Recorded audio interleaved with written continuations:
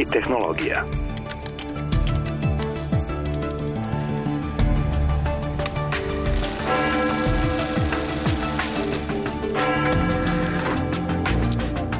Hrišćanstvo i tehnologija.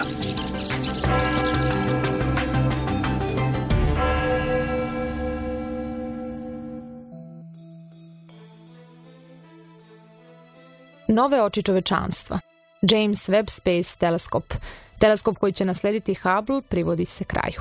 To je ujedno i najskuplji projekat koji je NASA imala do sada, dok je teleskop Hubble video svemir onako kako ga mi vidimo svojim očima, odnosno u vidljivom delu elektromagnetnog spektra, Ovaj teleskop će sve to posmatrati u infracrvenom delu spektra.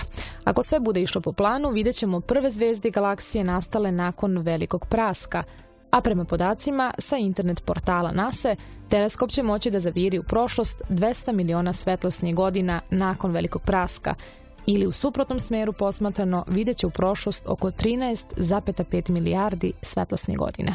Hrišćanstvo i tehnologija.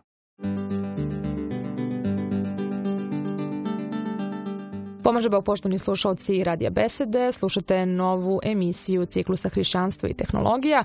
Naša današnja tema je nauka, celovitost i neonske reklame. Naš gost domaćin i u ovoj emisiji je gospodin Aleksandar Arsenin. Pomaže Bog, dobrodošli. Bog pomogao, bolje je snašao. E, danas se pojedine naučne grane skupim, visokotehnološkim instrumentima zaista bave uskim pristupom problemima koje malo ljudi može da razume. Naša gošća Aleksandra je nasuprot tome govorila o širini obrazovanja i pristupu koji je obogaćen ne samo naučnim znanjem, nego i teološkim, pa i životnim iskustvom. Šta nama visoke tehnologije nude, skloni smo reći da što je tehnologija sofisticiranija, a tim i skuplja, to je gledište uže. Da li se slažete? Evo, same cifre oko ovog teleskopa su zaista zapanjujući. Sad postavlja se naravno pitanje ko zna da su to te godine, ko zna da su te udeljenosti, na koji način, ali upravo je to i tema ove emisije. Da li smo mi uopšte sposobni da sagledamo nauku tu gde mi posmatramo, da li to naš um uopšte može da shvati. Govorili smo o tome i ranije, nauka danas posjeduje neverovatne tehnologije, pa evo i ovaj teleskop kojima ulazi u prostor same srži materije. Imamo i CERN, istraživanje bozona i tako dalje. Dakle, mi nikad u istoriji čovečanstva nismo mogli delati na tim nivoima. Danas nauka radi i na makro i na mikro poljima. Ogroman je potencijal za napredak, ali sad mi zaista moramo tu i da postavimo neku granicu. Isplatili se sa jedne strane školovati stručnjake koji rade u oblastima mikrofizike. Gotovo evo nečeg virtualnog. Kada spomenemo 13,5 milijardi svetlosnih godina, to je prilično neka virtualna stvar za, za jednog običnog čoveka.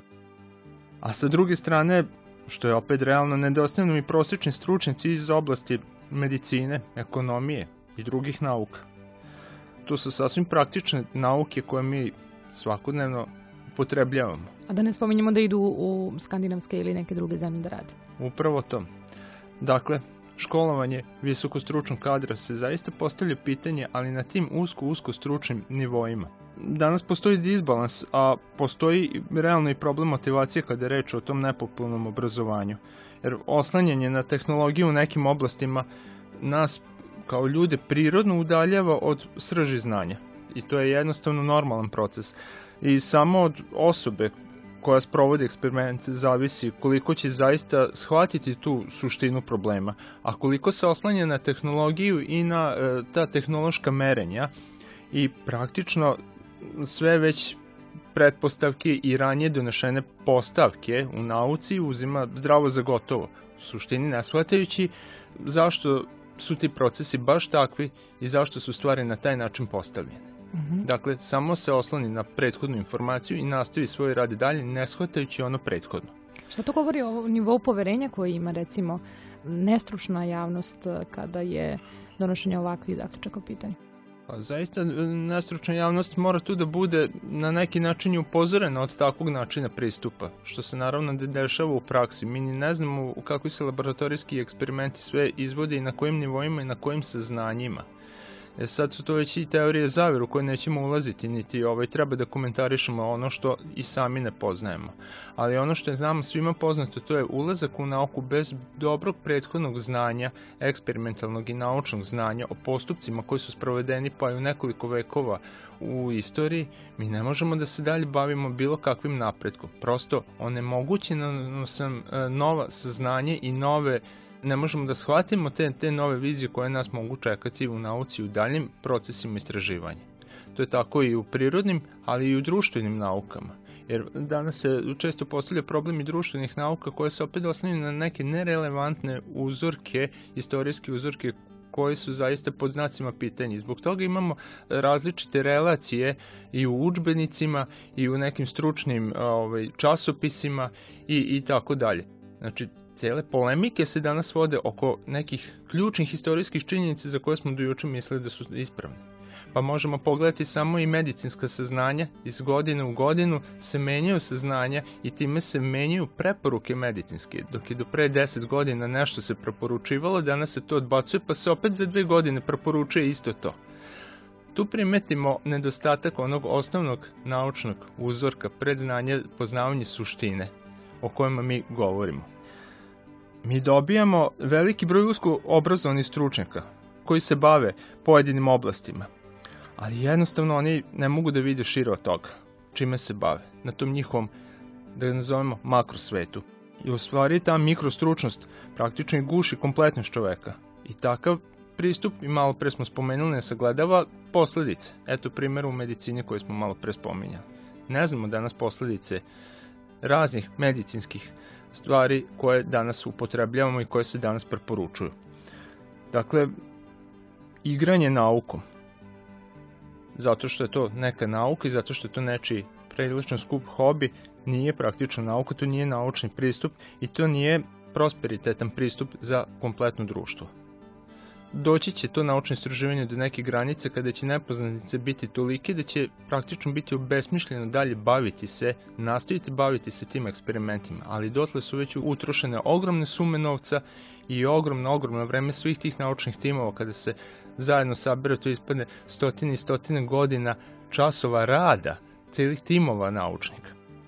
Veliki naučnici koji su nama doneli i velike koncepte i tu praktičnu primjenu svakodnevnici su bili ne usko stručni. Oni su posjedovali i tekako široko obrazovanje. To su ljudi koji su gajali mnoge talente.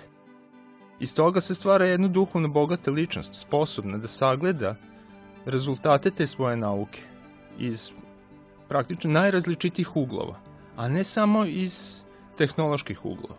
Praktično nije znači samo eksperiment ono što je nama dokaz dobrog dela. Mnogi, mnogi aspekti su tu u pitanju pa i religijski aspekti. Dakle, kompletnost čoveka je, to je njegova celina, ta celovitost bića i duha je ono što možemo zvati predstavnikom obožene nauke.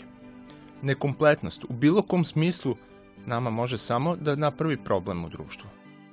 Znači u 19. veku u jednom trenutku granica jasna među naukama je napravljena bez prirodne potrebe da se ta granica pravi. A znate zbog čega? Duhovne sile žive u onome što danas zovemo društvene nauke. I vi ako gledate velike naučnike koji su potekli iz srpskih tradicija, i Pupina, i Teslu, i Milutina Milankovića, oni su bili prvo poete, bili su neverovatni pesnici. Oni kada pišu, pisali su kao najbolji pisci. Oni su umeli da broje i da posmatraju zvezdano nebo. Oni su se nadahnjivali čitajući poeziju. Oni su drugovali sa umetnicima, oni su pomagali stvaranje najvećih slikarskih i umetničkih, pa često i vajarskih dela. I mi zaboravljamo da su upravo te sile, duhovne sile koje žive, danas bismo rekli, u društvenim naukama pokretale, ali apsolutno pokretale briljantne umove koje danas pripisujemo i stavljamo kao nosioce prirodnih nauka i prirodnih zakona. Ne razdvojivo je. Ja sada, eto, zahvaljujući vašem pitanju, mislim da ću ovo prvi put i reći. Čini mi se da danas duhovne, duhovne nauke, to je društvene nauke, nisam ni malo slučajno pogrešila, sa duhovnim silama su namerno gurnute u zapećak, jer interes ne može da živi ako vi obogatite tehnološki razvoj duhovnim sadržajima. Ako vam je interes osnovni pokretač, bogaćenje, interes određenih grupa, da li su one vezane za određenu državu ili su vezane za određene profesije, to je potpuno nebitno. Ali tu društvene nauke nemaju šta da rade. Upravo je sila društvenih nauka duhovna sila koja je pokretala najveće briljantne umove istorije nauke. Ta razdvojenost je bolna i eto odgovora i na prethodno pitanje, to jest na pitanje pre toga, kada ponovo susretnemo društvenu i prirodnu nauku, kada ponovo omogućimo čoveku da dejstvuje izražavajući se kao poeta, a da pritom ume da koristi matematiku kao najveću alatku ili fiziku ili kvantnu fiziku, onda ćemo tek dobiti jednu obojeniju i svrsishodniju nauku. Meni nije lako da pričam o svemu ovome, jer se ja krećem među najvećim naučnicima 20. veka srpskim naučnicima. I oni su bili umetnici. Znate šta je Laza Kostić, prijatelj Nikole Tesle, rekao ko je Nikola Tesla? Nikola Tesla je iz umetnik. Laza Kostić je voleo da pravi nove reči. Pazite, ne izumitelj, nego izumetnik. Njega je Mark Twain karakterisao kao najvećeg pisca koji, eto, samo nije odlučio da bude veliki pisac, nego veliki naučnik. Mihajlo Pupin najviše od svih naučnika u istoriji nauke sveta pomaže kulturni, duhovni razvoj. Najviše ojačava tradicije našeg naroda. Milutin Milanković kao poeta piše o tome kako je plakao kad je slušao sa šest godina prvi put pesmu Marko Kraljević i Musa Keseđija. Vi njih ne upoznajete ono što oni pišu. Oni vas ne vode do svojih naučnih dostignuća, oni vas vode do svojih izvorišta nauke. Ta izvorišta nikad nisu ni u kakvoj progresiji, ni u kakvim projektima, ni u kakvim svemirskim idejama. Ta izvorišta su u slušanju guslara, posmatranju zvezdanog neba, u dečijim igrama, u pastirskim igrama, uvek nešto što je nama dostupno, vidljivo i merljivo. Moramo se dotaći i vazda spornog, uslovno rečeno, pitanja i odnosa vere i nauke.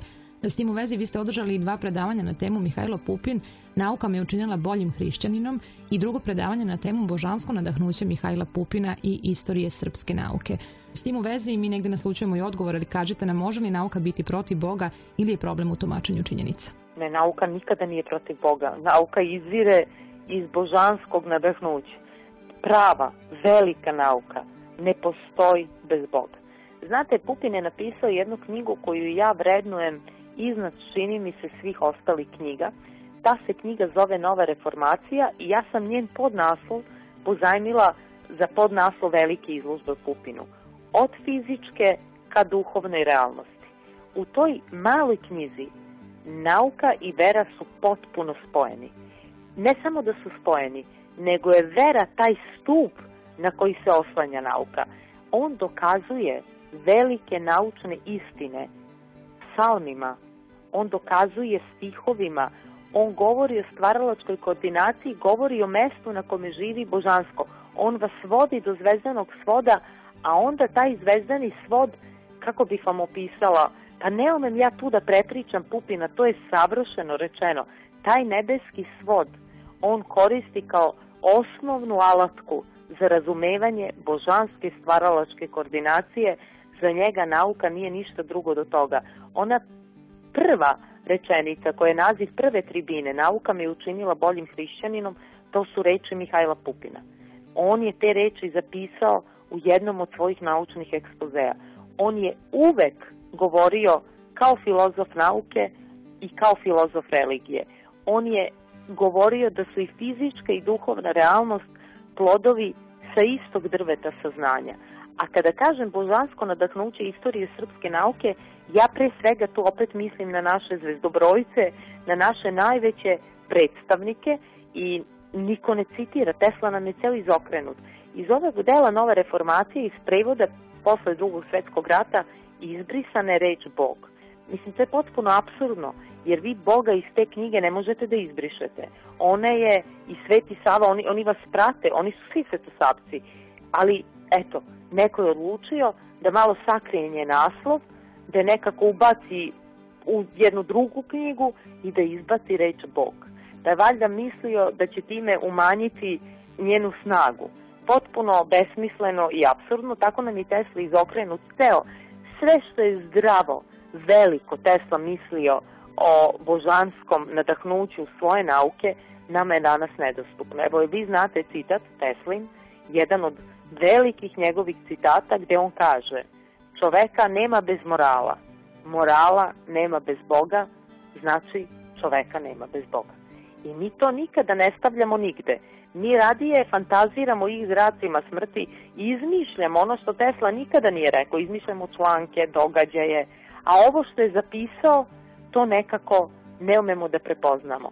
Pa Milutin Milanković kada šalje telegram Nikoli Tesla, zamislite, čestitam u vremešni rođendan, preko 80 godina puni Nikola Tesla, prvo što mu kaže, morao si se vratiti veliki Milanković u Sokolovo gnezdo, odakle si poleteo u svet, morao si klecnuti i poljubiti grob svoga oca, nacionalnog borca i pravoslavnog sveštenika. Mi starno zaboravljamo da su ova tri dečaka, evo sad o njima najviše govorimo, da su oni bili redovni na liturgijama, da Nikola Tesla tokom svog dečaštva ne da nije propustio ni jednu liturgiju, nego ni jednu večernju ni jutarnju službu. Nikada. Njegov otac je bio sveštenik i on ga je pratio i pomagao u služenju u crkvi. Pa šta mislite, odakle Tesli takva bistrina misli o svetlosti? I sada, ako odemo na drugi kraj, ako odemo sa ovog početka koji je mnogo puniji, kompleksniji, životvorniji, ima mnogo više slika nego što ja sad mogu da vam kažem, ali ako odemo na drugi kraj, na njihov naučni rezultat, sva trojica su dali fundamentalni doprinos nauci, o Teslu smo se okretanjem ogrešili, Pupina zaboravili smo najveće naučne doprinose, samo Kalemovi, Kalemovi, pa Kalemovi su divni, veliki, čudesni, trajali 100 godina, ali postoji nešto što će trajati zanavek. Pupin je otac telekomunikacija, ne zbog Kalemova, zbog frekvencijskog i vremenskog multipleksa. Da ne stignem do Milutina Milankovića, ako biste tražili kanon u crkvi, rekao bi se kanon, to je sveto pismo. U nauci postoje tri kanona. Jedan, treći, posle Galileja jedini, daje naš Milutin Milanković. Uz pomoć olovke i papira on nije pravio grešku. I ko sad može da mi kaže da to nije božansko nadahnuće? On dok je bio i zatvoren i dok mu je kretanje bilo onemogućeno, ma nema ništa, ali sve vidi, sve zna. I 180.000 godina u krug šta je bilo, šta će biti, doba, kako se smenju, bez statističke greške. Ogroman je Milutin Milanković i duboko svestan svojih tradicija i porekla i moram da kažem, svi koriste istu sintagmu. Sva trojica, večno nebo. Oni kažu malo šire, večno nebo nad nama. Svi su posmatrali zvezdani svod i bili svesni da je to mesto njihove inspiracije, a Pupin, pošto je sve razlagao, on je apsolutno i definisao šta taj zvezdani svod zaista i znači. 21st century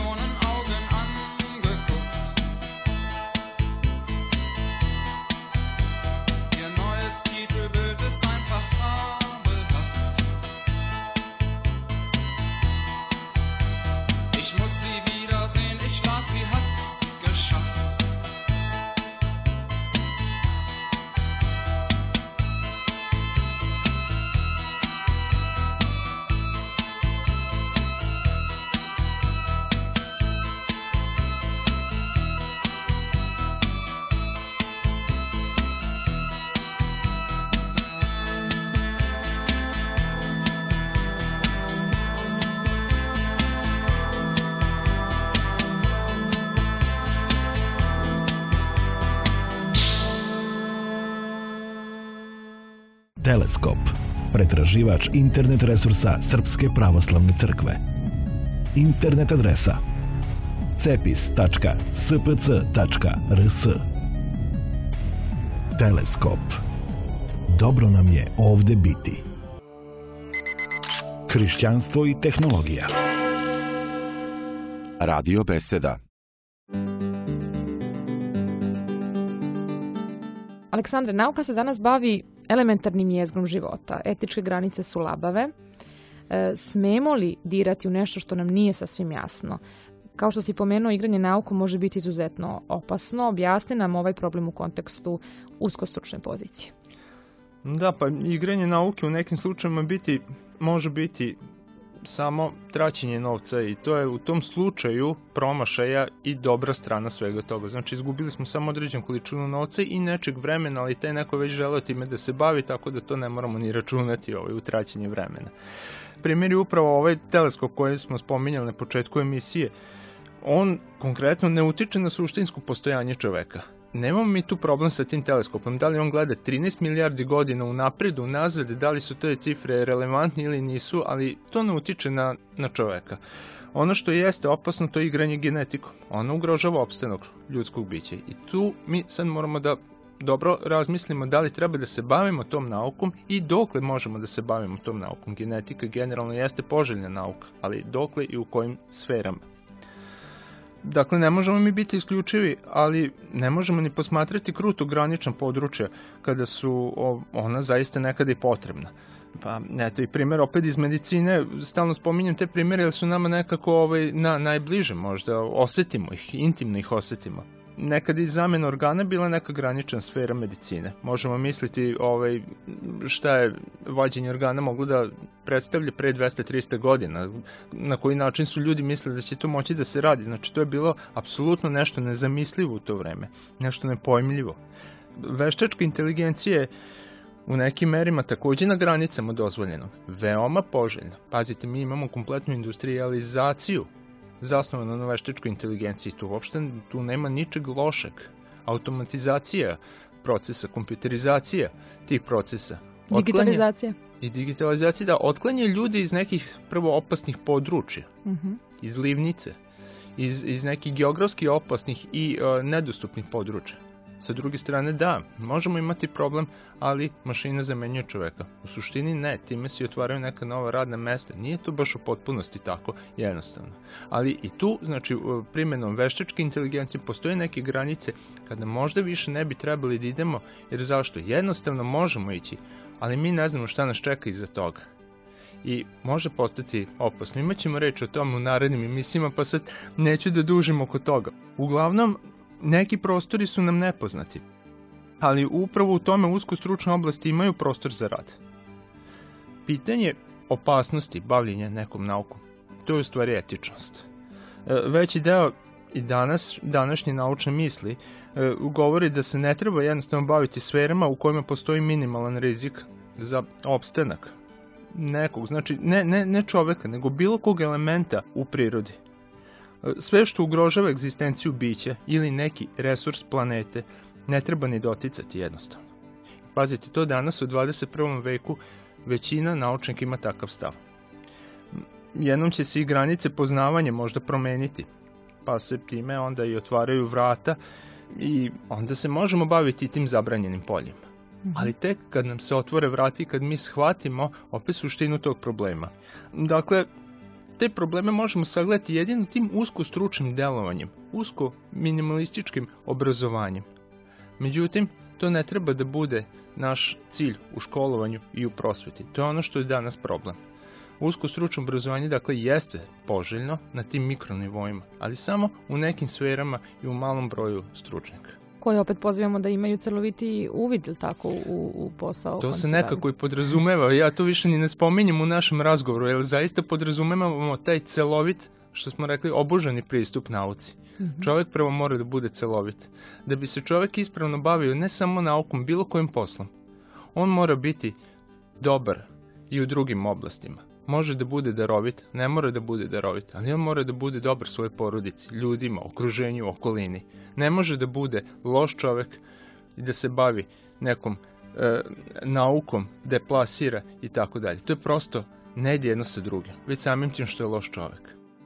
Ja i dalje razmišljam o tom danu kada najveće američko priznanje naučno prima Mihajlo Pupin, on ne stoji sam, on, on je ispred najvećih naučnika tog vremena i on kaže osvojili smo silu i toplote i elektriciteta. I evo odgovora na sva vaša pitanja, Pupinovog odgovora, ali nismo osvojili ništa.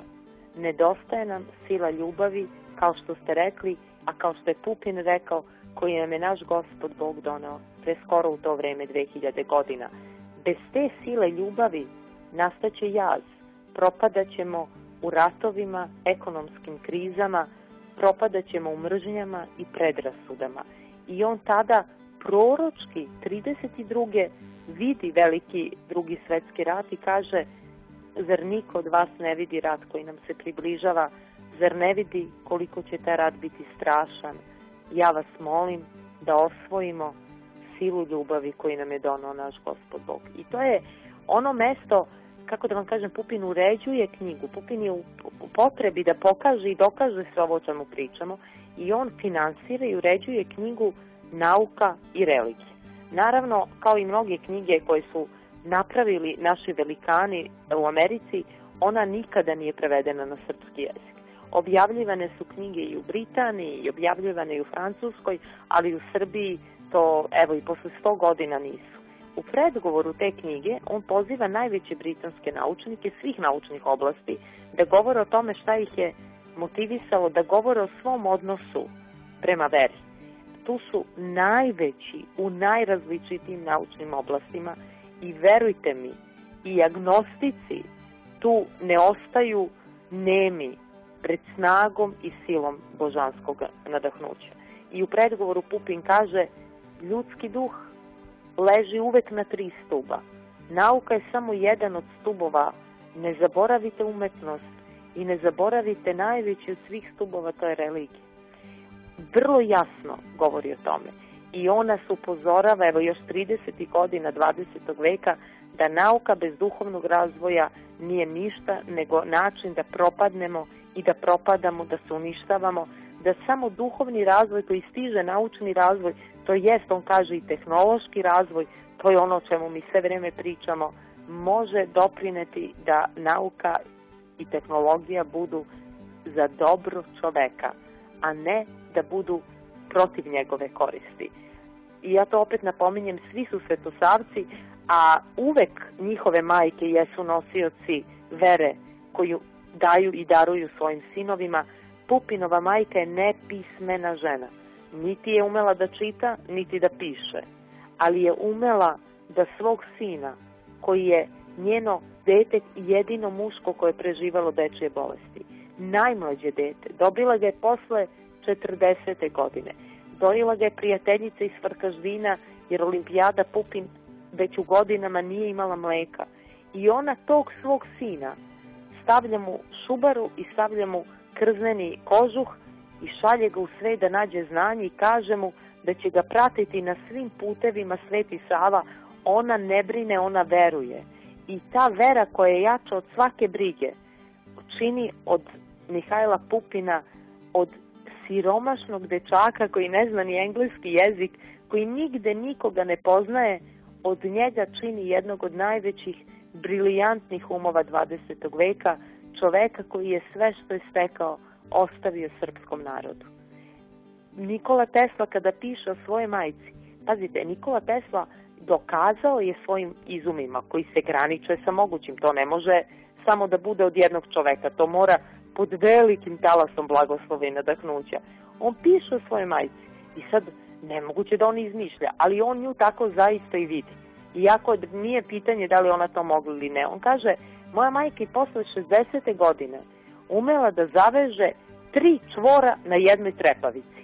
I kaže, moj brat, koji je bio stariji od njega, koji je umro kao dečak, preminuo, upokojio se kao mlad, sa konja je pao, kaže, on bi bio mnogo veći izumitelj od mene. I svet nije upoznao svog najvećeg izumitelja. To govori i o svojoj majci. Milutin Milanković, pa da li postoji prava mera da vam opišem, jed, je on mali dečak, je naravno na svečanosti u crkvi povodom dana Svetog Save.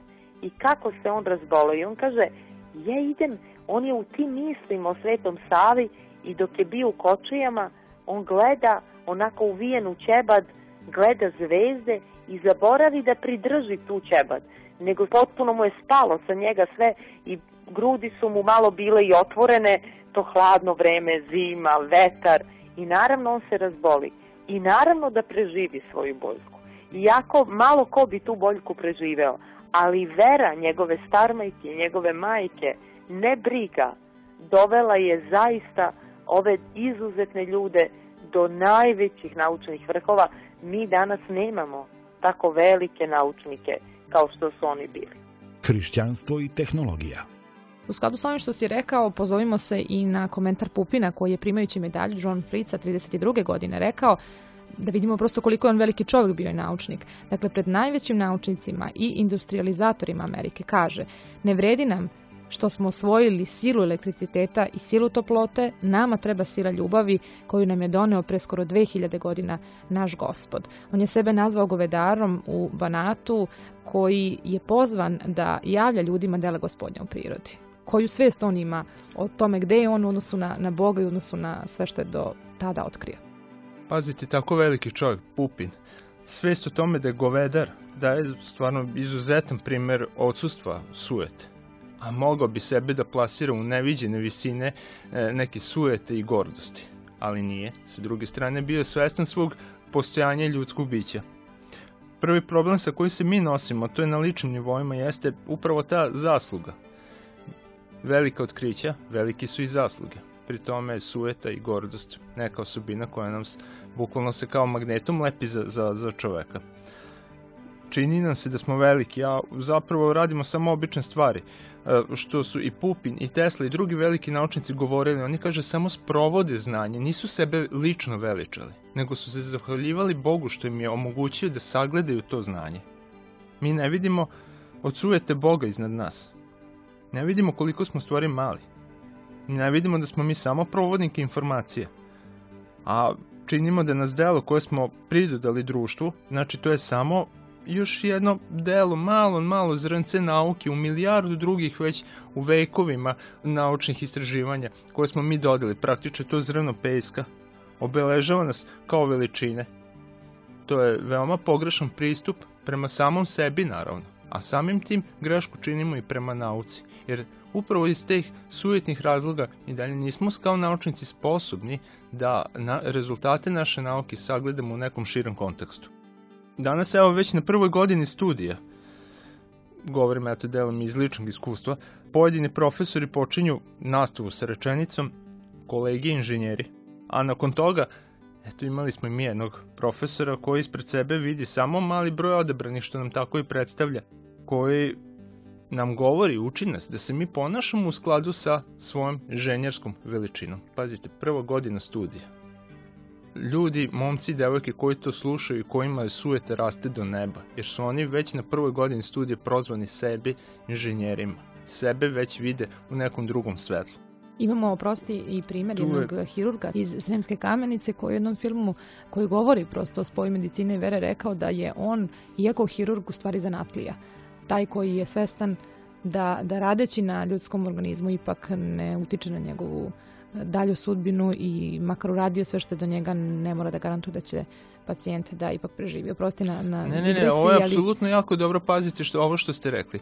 Ako uh, ogolimo tu našu nauku i neku visoku svest i filozofiju, nauka je većinski zanatski deo.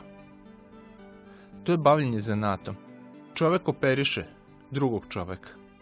Jeste to opasno, rizično, treba mnogo znanja, ali to zanatski da on svojim rukama radi nešto, kao što neki dobar stolar pravi dobar nameštaj drveta svojim rukama.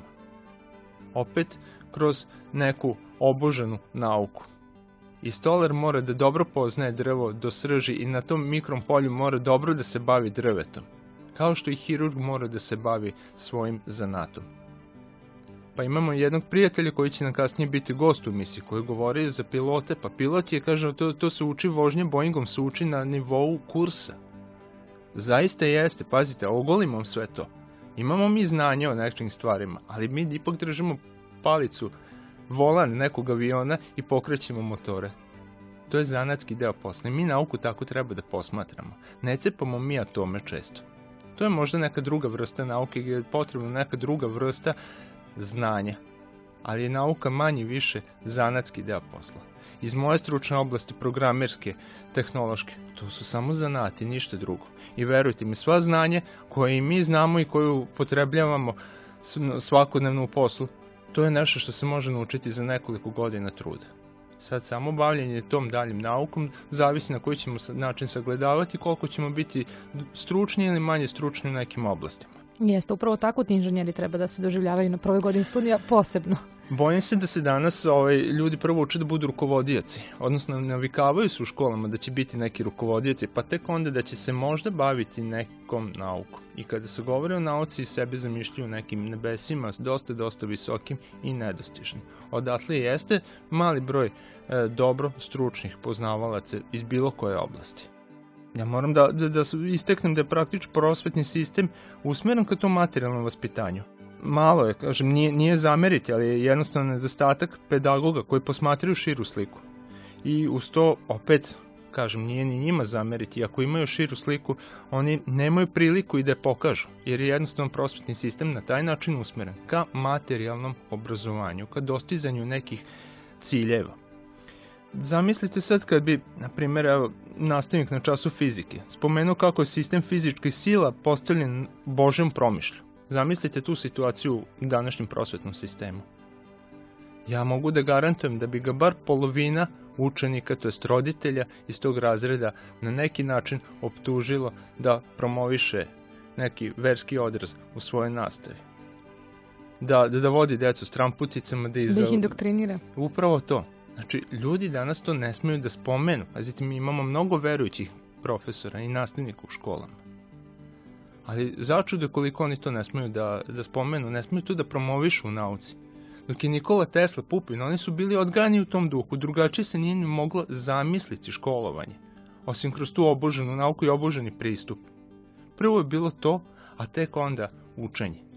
A zaista fizika jeste to. Pa ko je postavio sve te sile koje mi ni ne vidimo? Jeste, imamo i Mendela, jednog sveštanika koji se bavi genetikom opet sa, sa jedne ispravne pozicije i temelja. E, to to. Danas deca su u školama uči da su ona ta koja imaju kontrolu nad celom situacijom. Da li u nauci, da li u odnosu u društvu. Ona su ta koje kontrolišu sistem.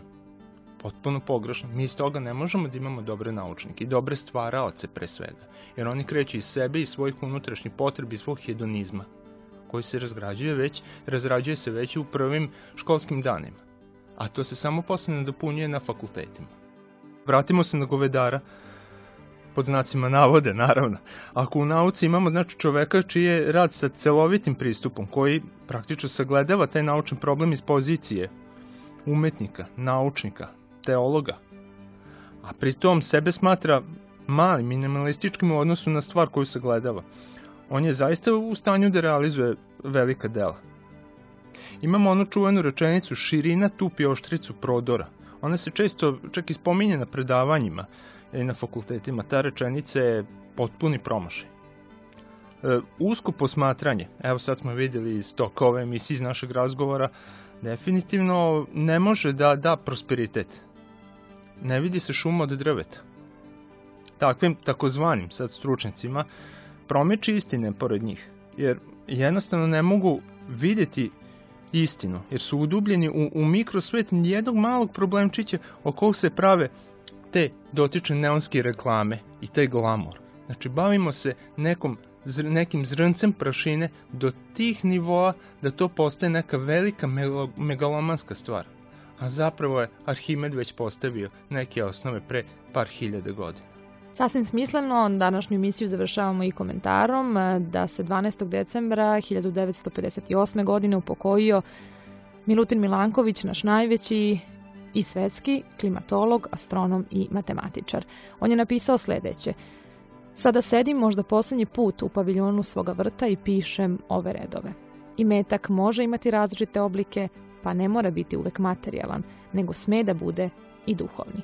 Ako dozvolite, i taj njegov oblik, onda i kao beskućnik, neću biti sirotinje.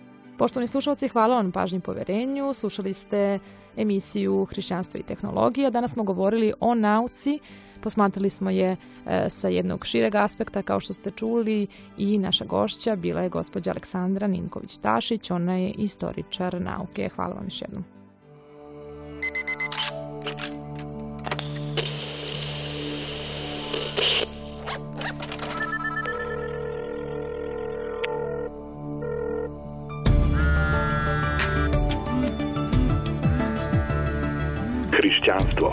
I tehnologija.